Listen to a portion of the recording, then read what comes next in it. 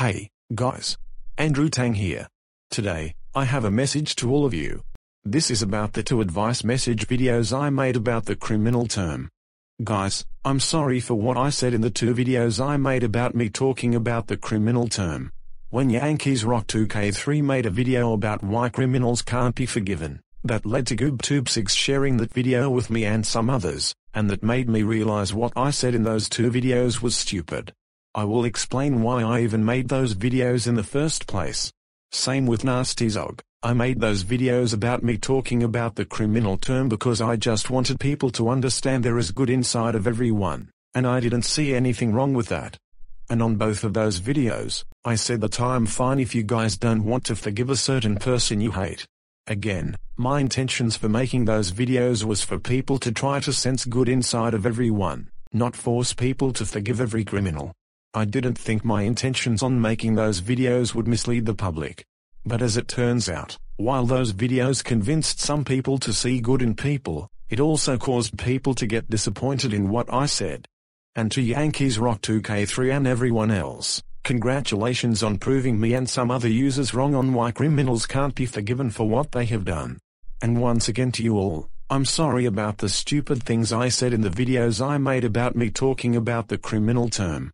But if you're wondering what I'm going to do to my videos about me talking about the criminal term, I'm still going to keep it on my channel because deleting those advice message videos I made about the criminal term will do nothing but prove I can't handle criticism.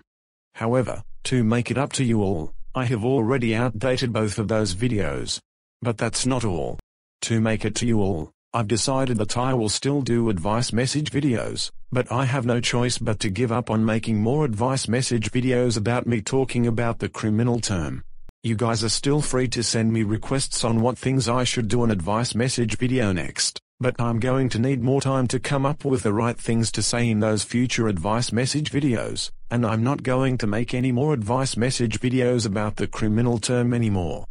So, if you're going to send me a request about me making an advice message video about me talking about the criminal term, then please do not send me that request because I already chose to give up on making videos about me talking about that. Anyways, I hope you forgive me for what I did. And I also hope you understand why I made those two videos about the criminal term and why I have to give up on making more videos about me talking about that. But if you choose not to forgive me for what I did, then that's fine with me. If you guys hate me for what I did, then it's best to ignore me. But please do not go out of your way to attack me because of what I did. Anyways, this is Andrew Tang, signing off.